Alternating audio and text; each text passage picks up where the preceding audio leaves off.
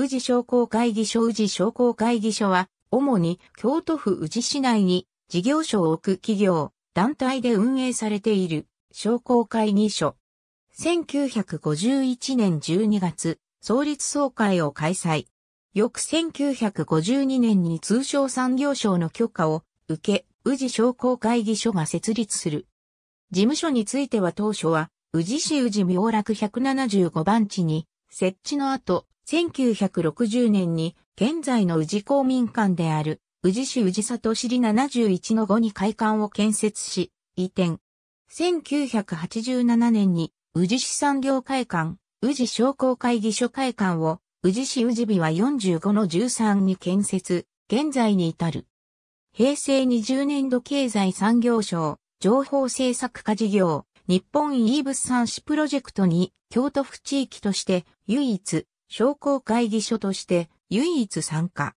宇治を中心とした京都府内全域の地域産品の担い手と全国の流通小売業者、消費者を結ぶ、販路開拓支援事業に取り組み、商工会議所モデルとして評価される。経済産業省事業終了後も、同モデル事業を継続し、京都宇治土産 .com の開設や毎年約200件のビジネスマッチングを行いつつ、京都宇治の文化、魅力の発信に取り組み現在に至る。平成23年4月26日公開、京都府内全域の地域産品、地域生産者、観光資源をポータル化した通販、総合情報サイト。京都の産品専門店として約500品が掲載されており、京都有数の老舗から隠れた地元人気の名店を紹介している。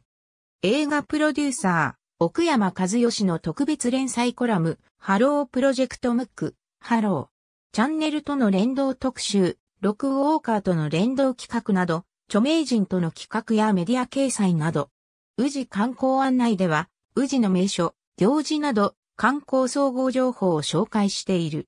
2012年、熊井友理奈と鈴木愛理による非公式ユニット、マッチャーズを宇治茶大使に任命した。